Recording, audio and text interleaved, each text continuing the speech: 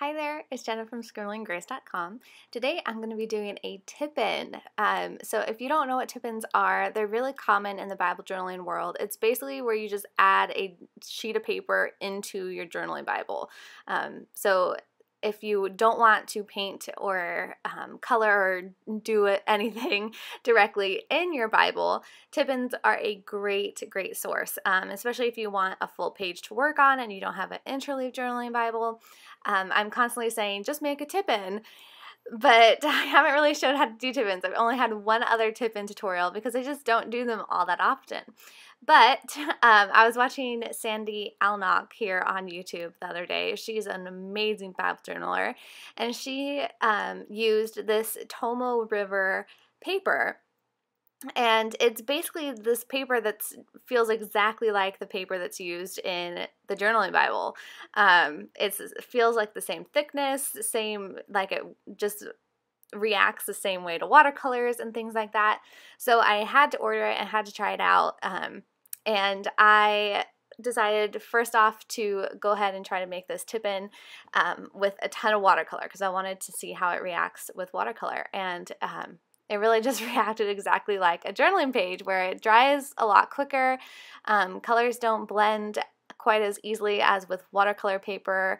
Um, it's just a very different experience painting on um, Bible paper or this Tomoe River paper than it is on watercolor paper, but it's still, um, once you get used to it, it's so much fun and it totally works uh, really well. So um, I was super excited to try this out. This is um, eight and a half by 11 sheet of the paper and I got the cream color. They also have white, but since my Bible pages are usually cream, I decided to get the cream color here.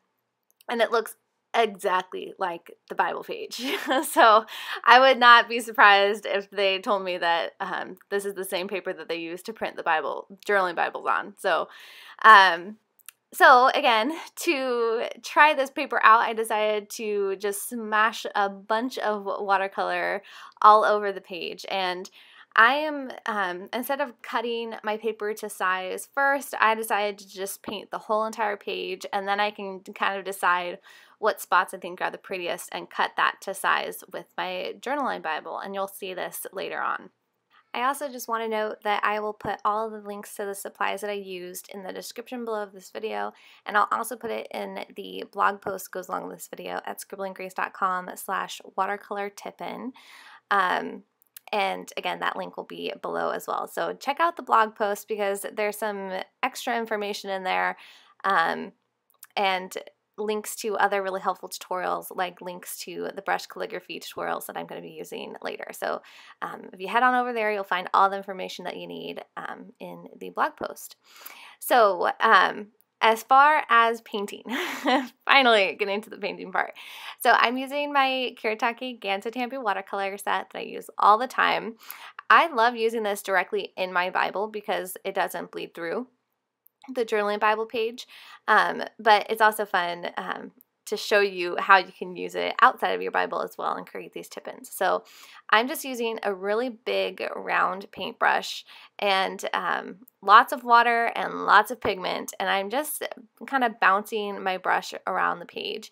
So I'm trying to just kind of do little sections of different colors. As you can see here I'm just using my green, trying to just um, create little pockets of that green color I started with my yellow and some, or I started with my pink and then some yellow, which also kind of created an orangey color.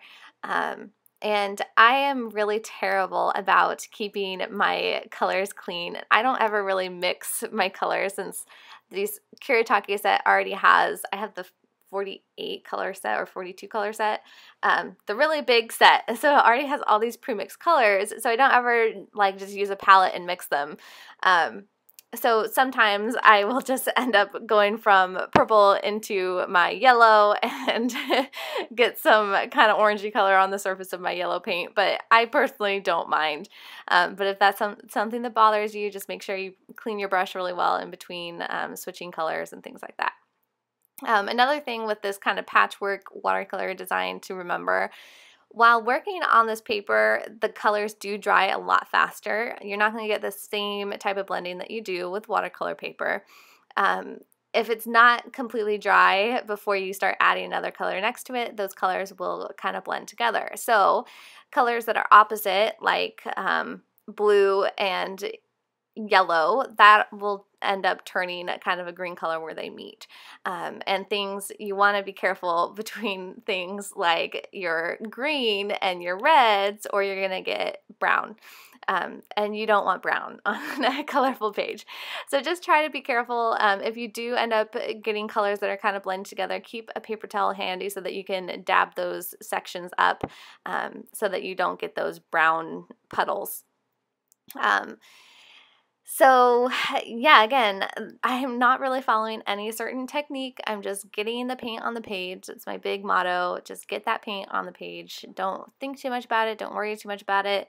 Um, it's all just about having fun. If it doesn't turn out perfect, that's okay. Um, especially with Bible journaling, we're just about creating for the Lord and worshiping Him. So it shouldn't uh, matter if our page turns out to perfect or not. Um, and when you're doing a tip in like this, it totally takes the pressure away because you're not creating directly in your Bible. So tip ins are especially great for beginners if you're cautious about um, messing up your beautiful Bible. Um, though I don't believe you can mess it up. If you feel that way, um, doing a tip in like this on a separate sheet of paper. So if you do totally mess it up and you hate it, you can always just scrap it. But uh, so I'm just adding in different layers now. So I already went filled up pretty much my whole page and now I'm just kind of going over the spots where I feel like need a little bit more color, where I don't love how they ended up um, like my purple, adding some purple in the center, adding some more yellow over those original yellows to make those a little bit brighter. And then I'm going to go ahead and dry my page and then just continue adding in color until I feel like it's exactly what I wanted my page to look like. So I dry my page using my craft heat gun which I love to pieces. This is the one tool that I use for every single journaling Bible page that I have. It's You could essentially use a hair dryer as well. The benefit of the heat gun is that it pumps even hotter air and the airflow is not nearly as harsh. Um, it's just like very light amount of air that's being pushed out, but it's so hot that it dries that page super duper quick. Uh, super duper quack. But um, yeah, so I love my heat gun. If you don't have a heat gun, you could totally just let it air dry, or you can use a heat, uh, blow dryer if you must. Um, so again, I one of the things about watercolor, um, one of the biggest tips that I can give is to work in layers. So um, you can always dry the page and then add some more color on top if it's not exactly how you want it. Um, do note though that once the watercolor is dry, it's not going to move around on the page. Um, if the watercolor is still wet, then you can still like add water, add colors to it, and uh, move it around on the page. But working in layers helps to add a little bit extra oomph to the page. Um, and it adds a lot of depth as well. But of course, if you wanted to keep it even simpler, just do one layer um, and then you're good to go. You don't need to keep adding paint if you don't want to. Um, sometimes it's hard to decide when to stop as well. this one was a hard one. See, here's what I'm talking about with that puddle of brown. Um, I had blue over the orange color, which created kind of a puddle of brown. So I just picked it up as quickly as I could with my um, paper towel and we're good to go. Just keep on painting. Um, all right, there's another little puddle of brown with the purple and yellow as well. So um, just a reminder, just try to keep those colors um, somewhat away from each other. If they're touching like mine are, just try to um, not add quite so much water if you're working on normal watercolor paper, it's a totally different experience. But this is what it's like on um, this Tomoe River paper or journaling Bible paper that's thinner, dries super quickly, um, because you could essentially add two colors right next to each other without worrying about them bleeding next to each other because it dries so fast. Um, so I hope that I'm making sense right now. So anyways, um, I'm gonna I'm just continuing drying this page now, and then I'm gonna add some white splatter just to uh, add a little something something. So I debated using white acrylic paint to do this splatter because that'll be much more opaque, but I decided to just go ahead and use the white watercolor that I have in my Kuretake Gansai Tambi watercolor set, and I'm switching to a large flat brush. Um, I think this is a three quarter inch flat brush. Although the size doesn't really matter all that much. Um, and you want to have a good amount of water, but also a lot of pigment. Um, and then you just flick it with your finger, and it creates all those little specks and dots. I felt like this sort of made it um, somewhat into a galaxy. If I had done some darker tones, it would have been kind of like a galaxy painting with the stars, white stars. But um, since it's so bright and vibrant, it's just a fun abstract piece of art.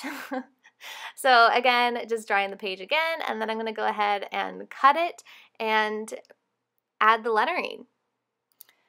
All right, and now I am finally bringing out my Bible. So this is my ESV double column journal Bible. It's the first Bible that I ever owned, and it's really full. So I already have so many um, pages done in it that I have a hard time finding new pages to create in it.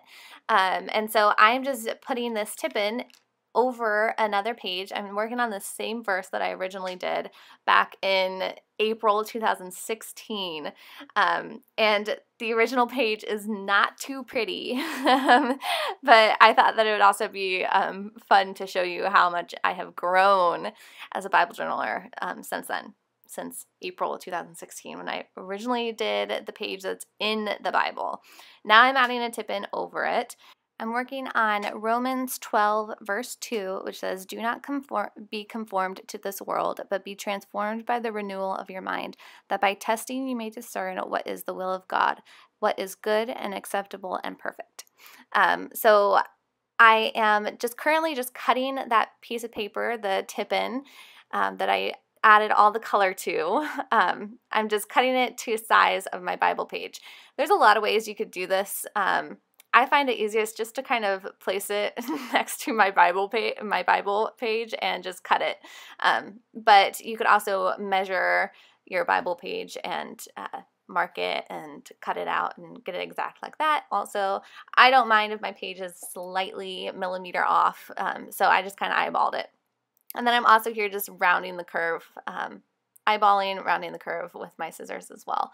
And I'm not going to attach it yet. I'm going to add my lettering first um, just to make it easier and then I'll attach it into my Bible, especially with the Bible um, that I'm putting this in. I have so many tabs and things that it can be kind of hard to write in. So doing a tip in like this makes it so much easier. And so here I am trying to um, figure out how I want to do my lettering. I was going to kind of vary the type of lettering that I was using by doing calligraphy and print, um, but I finally just decided to just do all calligraphy with my brush pen and I'm writing out dot dot dot that by testing you may discern what is the will of God, what is good and acceptable and perfect. Um, so I'm using my pencil first to kind of uh, give me an outline of what to follow with my brush pen. Um, and I didn't like it a few times and erased it and just did it again, um, which is the be great benefit of doing it in pencil first. Okay, so I'm going to do this lettering part really quickly because um, this video is getting really long and it's not a tutorial on lettering. So uh, let's just get through this and get to put it in the Bible. So um, I do, of course, have tutorials on creating lettering like this. Um, I have a uh, brush calligraphy basics tutorial as well as a bounce calligraphy, which is more of what I'm doing here. Um, and both those tutorials have free printables as well. So again, I'll put those links um, in the blog post that goes along with this video at scribblinggrace.com slash watercolor tip-in. Um, and that link will be in the description below. And I'll also put all the supply links for you so you can easily find those as well. So um, be sure to check those out. So um, I just did some brush calligraphy with my Tombow Fudenosuke brush pen, and now I'm going to use my Uni uh, Ball Signo gel pen, white gel pen here. This is the thin tip, I believe, um, just to add some highlight to the right side of all of the strokes in my letters. Um, and that just really helps it to pop out from the page, um, helps it to the lettering to uh, not look so blended in and makes it easier to read, in my opinion, as well. And uh, that's it for making my tip-in. Um, this all in all took about 45 minutes. It was a little bit more time consuming than most of my other um, Bible pages, but it was also something a little bit different. Um, making the tip-in and adding it into your page does take a little bit extra time but I think that it can be worth it to a lot of people out there. So, um, to attach it, there's so many ways you can go about attaching it. A lot of people just like to use washi tape. Um, you can tape it from the inside or the outside of your Bible page. I'm going to attach mine into the inside using just glue. Um, this is just a craft bond Elmer's glue. You could also, I've used normal Elmer's before as well.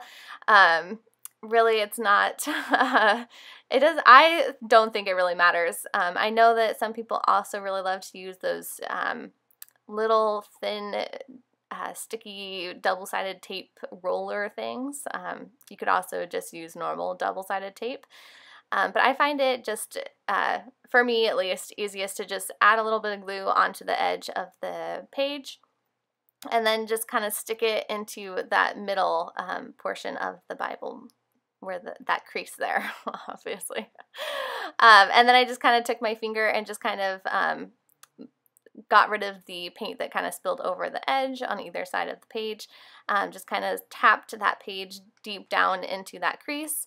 Um, and then I'm just gonna let it dry or dry it with my heat gun and then we're good to go. It's attached there into the Bible journaling page. Easy peasy.